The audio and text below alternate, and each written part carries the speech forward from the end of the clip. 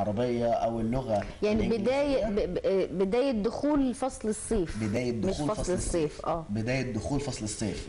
وهو آه، يعني يعتبر آه، حاجة كمان مقترنه بموسم الزراعة. اللي هو موسم الصيف آه، بيطلع فيه معظم الخضروات. آه، مثلا زي الخس اللي بيستخدم طبعا في الأكلات الشعبية بتاعتنا. آه، الحمص اللي بيستخدم برضو في آه، شم النسيم. آه، موضوع كلمة شم النسيم كلمة آه، شموس كلمة تعني البعث. البعث معناها هي بداية الحياة. اقترن في ال- العقيدة اليهودية بحاجة اسمها عيد الفصح وهو عيد أو بداية السنة العبرية اليهودية. طب ليه اختاروا ال- الفسيخ أو الملوحة لليوم ده؟ دي بقى الحاجة الدينية المصرية القديمة. أول حاجة عندنا ثلاث حاجات. البيضة آه. السمك أيوه. وبعد كده الخس البصل والخس. والبص والخصل أنا والبصل. فاكرة. كده إن البصل لطرد الأرواح الشريرة عشان جميل. الريحة بتاعته صح تمام والسمك هو for the eternal life عشان السمك المملح اللي هو- اللي كان بيستخدم آه في داخل الأورج بتاع الفرقة اللي جاية اشتغل لوحده السمك اللي كان بيستخدم آه، مملح أو الرنجة المدخنة التي آه. توضع في المقابر عشان الر- الروح بتاعة المتوفى في العالم الآخر تلاقي حاجة تاكلها أول ما يتم عملية البعث والخلود دي أول آه، حاجة. عملية البيضة فيها جزئين البيضة الأساسية وهي البيضة اللي كان قاعد عليها الإله الخلق إله بتاح في متون كتب الموتى ومتون الأهرام أو متون هليوبوليس ده آه. الاساس لكن موضوع تلوين البيضة ده يتبع العقيده المسيحيه وهو تلوينها بدم السيد المسيح آه عشان كده حتى شم النسيم آه، مقترن مع مع. بعد 55 يوم اللي هو الصوم الكبير لأعياد المسيحيين وبيجي يوم الحد يوم عيد القيامة وبيتبعه شم النسيم اللي هو يعتبر العيد الذي يحتفل به المسيحيين مع المسلمين واقترن بالعقيدة المصرية طبعا.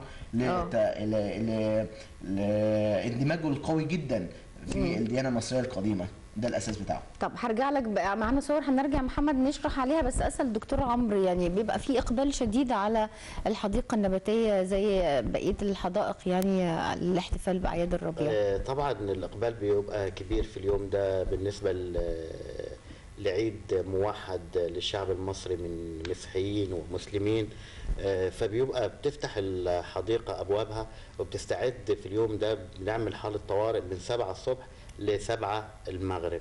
عشان نستعد ل- ل- للأفواج الكتيرة من الناس آه، لاستقبالها.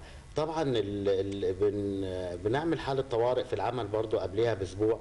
بحيث إن إحنا بن بنعمل صيانة الكافة. طبعا العمل بيسير طول السنة بس بنكثف الإجراءات ال- في ال- قبل شم النسيم لأن بيبقى الضغط شديد في اليوم ده على الحديقة.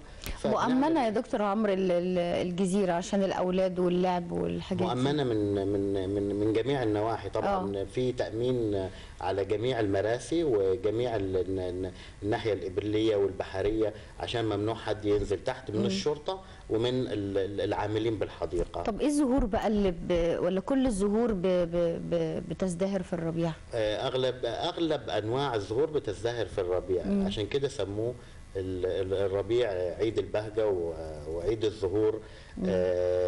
في الحديقة برضو بن بن قبل شم النسيم بن بنكثف العمليات الزراعية آه. من من من آه، تأليم وتهذيب للأشجار الموجودة عشان بتظهر بأحلى صورة ليها في اليوم بتاع شم النسيم ده. هل بيبقى مثلا وقت الربيع ده مثلا هل بيبقى مناسب مثلا للتهجين لل...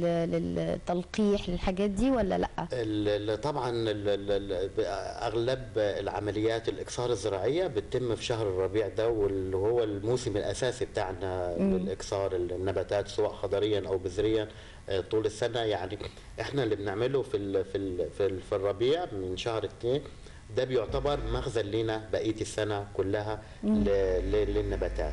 عندكم مع... معهد أبحاث كمان في. إحنا في أصلا الحديقة تعتبر مع تبع معهد بحوث البساتين مركز البحوث الزراعية. آه. هي هي الحديقة تعتبر جزء صغير من ال من ال ال المكان ولكن في الأساس إحنا مؤسسة علمية بحثية. وظيفتها الحفاظ على الأصناف الموجودة النادرة في الحديقة وإكسارها بالطرق المختلفة. إحنا عندنا كام نبات نادر في الحديقة؟ إحنا إحنا حاليا الأنواع الموجودة في الحديقة آه، 700 نوع نباتي يا ال ال 700 نوع نباتي دي طبعا أكثرنا من اللي كانوا حوالي 300 أكثرنا ال 300 الموجودين في الحديقة أكثرنا 70% من الأنواع الموجودة في الحديقة بالإضافة إلى إضافة بقية ال 700 الأنواع الجديدة دي للحديقة.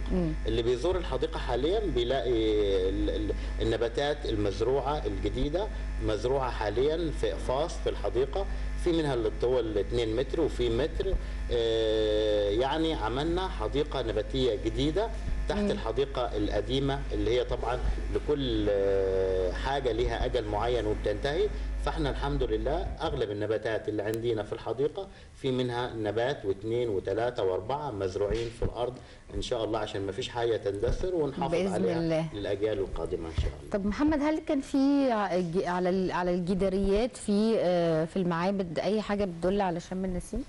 هو في طبعا رموز الصيد الأسماك رموز الاحتفالات بزهرة اللوتس. وفي طقس جميل جدا إحنا درسناه من أيام الكلية إن هو بداية ال- السنة ال- المصرية القديمة أو موسم الإنبات المصري اللي هو اسمه شيمو. ومعلومة كده بسيطة برضو بنضيفها للسادة المشاهدين إن أيام المصريين القدماء كان إحنا عندنا ثلاث مواسم.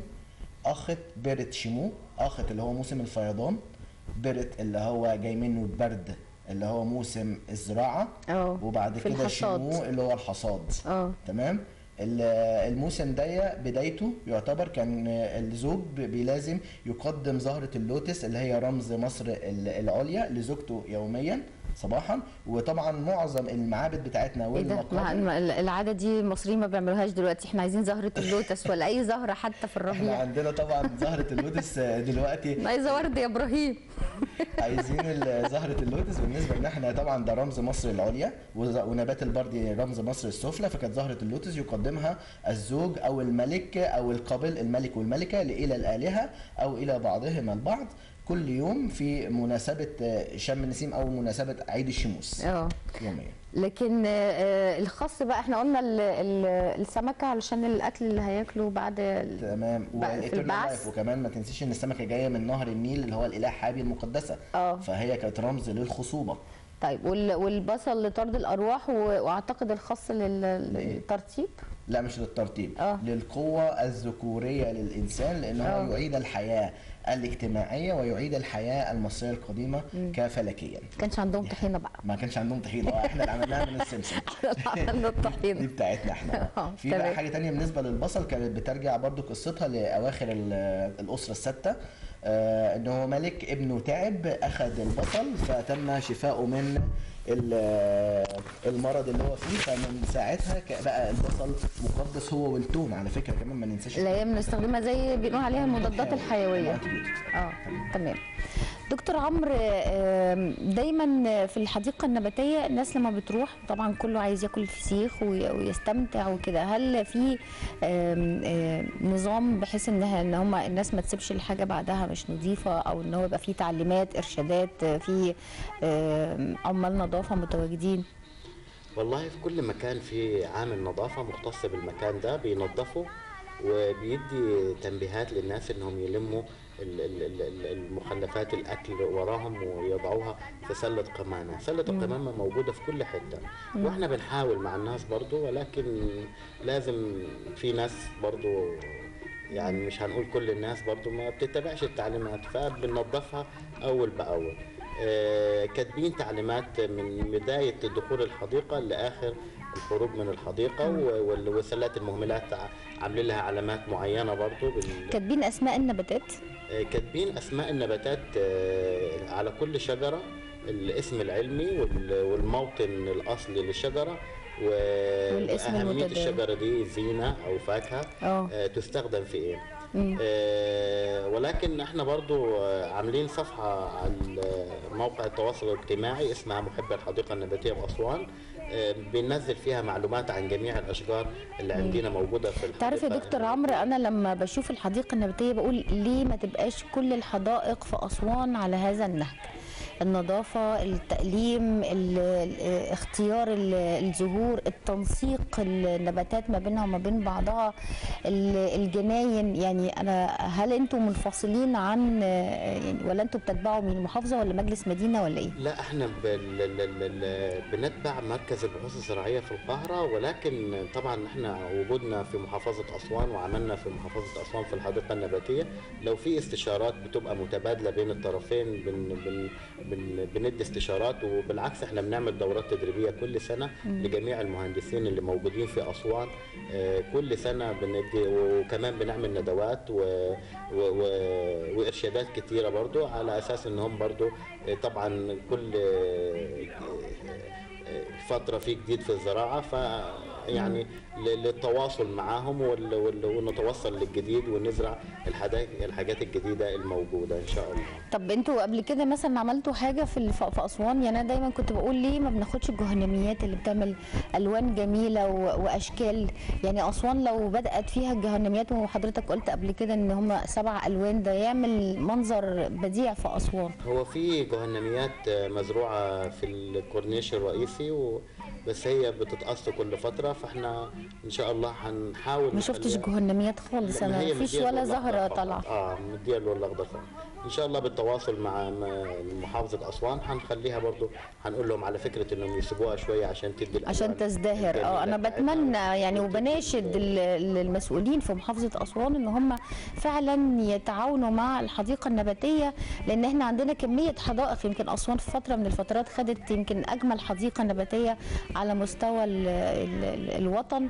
وبتمنى إن إحنا نزود بقى الألوان يعني مش ال- مش ال- مش البساط الأخضر بس لكن إحنا عايزين الألوان بقى اللي بتدي. بهجة آه جميلة هو محافظة أسوان فعلا فيها أكتر آه، مجموعة حدائق آه، وكل يعتبر كل حي ليه حديقة مستقلة وإن شاء الله الحدائق دي تعجب الناس وتنور. طب محمد آه، هل يعتبر شم النسيم ممكن نقول إن هو من الاحتفالات اللي ممكن نستغلها في آه، في تنشيط سياحة أو إن إحنا ممكن نظهرها بشكل أفضل ونربطها بقصة ال- الفراعنة علشان نقدر نعمل بيها رواج؟ طبعا إحنا ممكن نستغل أي حاجة عندنا في في الدولة المصرية أي حاجة مصرية بس أهم حاجة الترويج الإعلامي السياحي الصحيح يعني مثلا إحنا نعرف آه، نروج لحاجة معينة. يعني كان زمان يقول لك آه، عيد النيل. عيد النيل. اللي هو قالوا عليه خطأ إن إحنا بنرمي عروسة في النيل. آه. طبعا دي صعبة. لا بس أنا قصدي إن هو حتى لو كانت الفكرة خاطئة بس هي كانت يعني ما إحنا وإحنا صغيرين لغاية النهارده إحنا اللي هو عيد النيل و- والعروسة وال الإعلان عنها اللي خطأ. آه. الفكرة صحيحة فعلا لأن الإله حابي الإله اللي هو الموجود في جميع المعابد المصرية مثلا معبد الأقصر مقترن برمسيس الثاني في معظم الآثار بتاعته مقترن بكل ما هو معبد مصري ذات طراز يوناني روماني في اللي هو ال register تحت هنلاقي الإله حابي موجود. ده كله موجود يعني مخصص للإله حابي كرمز مقدس لنهر النيل أو قدسية نهر النيل. عندنا شم النسيم هليوبلس آه، الإله آه، البيضة السمك اللي هو موجود على الجدريات بص إحنا لما كنا بنشوف الأفلام آه، زمان لما لما كانوا بيجيبوا منظر آه، كانت عاملة له ابن عبد العزيز. لما كان جايبينها إن هي ال- العروسة اللي هتترمي في النيل ايا كان بس هو ده نوع من أنواع ال- الترويج للقصة. حتى لو اتناولت بشكل غلط ممكن إحنا نتناولها بعد كده بشكل صحيح. أنا قصدي إن إحنا في قصص آه، آه، وأساطير موجودة عندنا في التاريخ الفرعوني ممكن نستغلها بشكل احتفالات.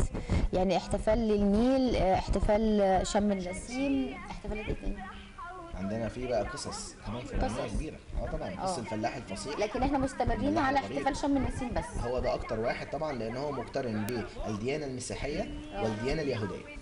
عيد الفصح وعيد القيامة الاثنين دول ومرتبطين طبعا الاثنين بالتاريخ المصري. طيب. دكتور عمرو الحديقة النباتية إيه الجديد فيها بقى؟ يعني إيه اللي بيميزها؟ الحديقة النباتية طبعا ال- بالإضافة لإكثار النباتات النادرة اللي موجودة في الحديقة أصلا آه، عملنا مجموعة أشكال برضو من من الخامات الموجودة. في الحديقة النباتية زي النافورة والقطر وعروسة وعريس كده بالأصاري مجموعة أشكال كتيرة بنحاول إن إحنا ندخلها مع ال- الغطاء النباتي اللي عندنا في الحديقة. طبعا ده بالإضافة لأكثار النباتات الموجودة طبعا وده الحمد لله يعتبر إنجاز العدد اللي إحنا وصلنا له وال وال والأنواع اللي إحنا أدخلناها جديد. ده طبعا آه، ما عملتوش أي حديقة تاني والحمد لله تعتبر الحديقة النباتية من الحدائق اللي في مصر اللي, ساندة نفسها و... لا، ما شاء الله. وبالعكس تعتبر آه، من أجمل الحدائق على مستوى العالم. طبعا ما فيش طبيعة بتحبو حديقة من الحدائق طبيعة الحديقة ومكان النباتية و... و... وأزهار ونباتات ونباتات طبعا رائعة يعني وتاريخ. وتاريخ. آه طبعا. تاريخ آه. 1898 هو اللي, اللي بيزور الحديقة بيستمتع بكذا رحلة مش رحلة واحدة رحلة نيلية طبعا نيل جميل بتاع أسوان ورحلة نباتية للنباتات اللي مش موجودة في أي مكان طبعا ورحلة ترفيهية طبعا للحديقة طبعا بالإضافة ل- لرحلة فنية اللي هي كل يوم ثلاث معانا عرض من عروض فرقه اسوان للفنون الشعبية. فالحديقة تعتبر كذا رحلة موجودين في رحلة واحدة. آه بيتم تقليم النباتات كل قد إيه بقى؟ النباتات طبعا آه، اللي هو التقليم شغال مباشرة ده في الفروع الجافة أو الفروع اللي هتنزل في الأرض أو اللي ليها خطر على الناس من دي بنشيلها أول بأول. ولكن التقليم بيتم كل سنة في شهر واحد من شهر 12 وشهر واحد بن بن بنقلم مجموعة من الأشجار اللي موجودة في الحديقة. تمام. محمد عايز تضيف حاجة؟ بالنسبة طبعا لدكتورنا الغالي الله يخليك يا نستعين بدكاتره. متخصصين في طب أهمية الزهور عند الفراعنه كانت إيه؟ أهمية الزهور؟ آه. أول حاجة رمز للبهجة وهو كان بيلون بيها الجداريات بتاعة المعابد آه. منها زهرة اللوتس منها معظم الزهور كمان اللي هنا مثلا زي الأقحوان دي زهور نباتية جميلة كانت بتقدم في آه، كل يوم بداية شروق الشمس وكانت بتستخدم برضو كقرابين جميع أنواع الزهور لأن طبعا إحنا عندنا كل القرابين الحيوانية والنباتية خضار وفاكهة دي الأنواع بتاعتنا فكانت بتستخدم طبعا في جميع الطقوس اليومية سواء يومية أو دينية مم. محمد عباسي مرشد السياحي اللغة الإنجليزية شرفتني. ودكتور عمرو محمود مدير نائب مدير الحديقة النباتية. سعدت بوجودك معايا. وإحنا مستمرين.